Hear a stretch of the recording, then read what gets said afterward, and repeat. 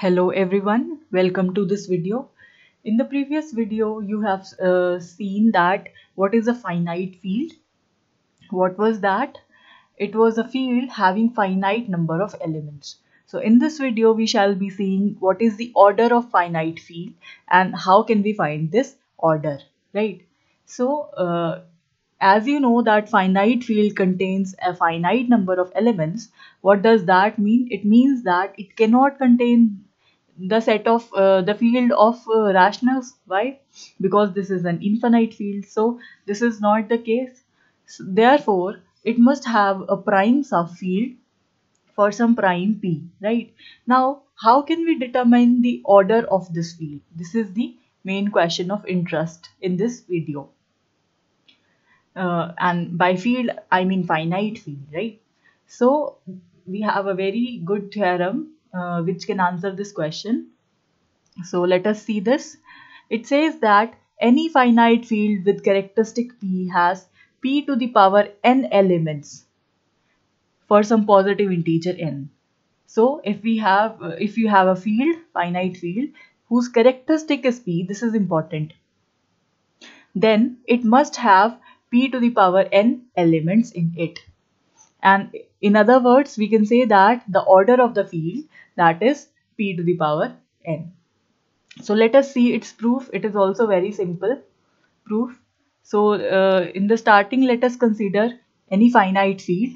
Let us denote it by capital F and uh, its subfield, let us denote that by capital K.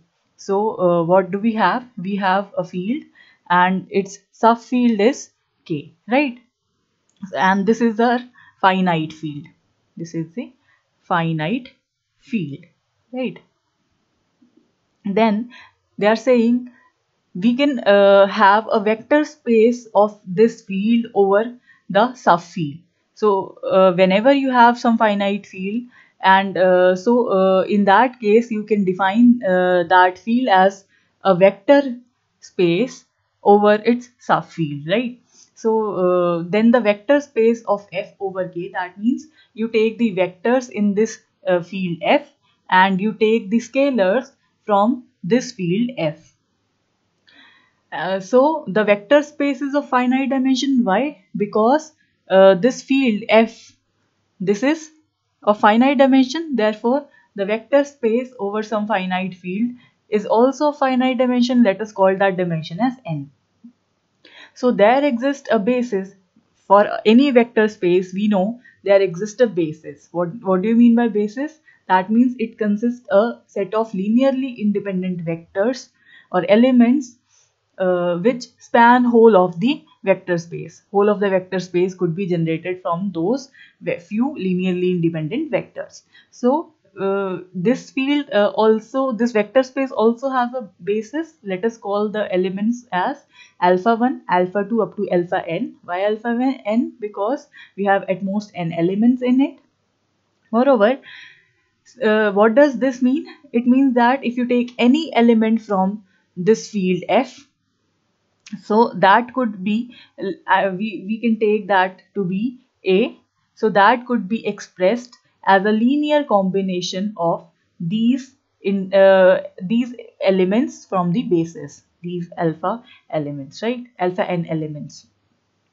So where these uh, beta 1 beta 2 up to beta n they are the scalars and they are taken from the field over which the this vector space is defined. That is they are taken from k right?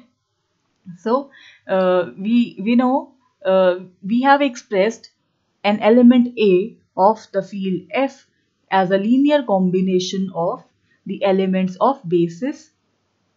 These alphas belongs to F and these betas they, they belong to K, right? So now K is a prime subfield of F. Why this is so? Because the characteristic of the field we have assumed that to be n. So in that case K is the prime subfield of F, it is the smallest subfield. Hence, every element of K has P elements. Why? Because the characteristic is P. Therefore, or in other words, we can say that this field K, subfield K, forms a copy of ZP. So, this is justified. Therefore, we have shown that the field F has p to the power n elements within it.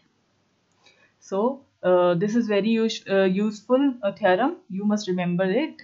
What does this say? It says that any finite field with characteristic p has p to the power n elements or in other words the order of field is p to the power n for some positive integer n whose characteristic is p right. So that is it for this video. Thank you for watching.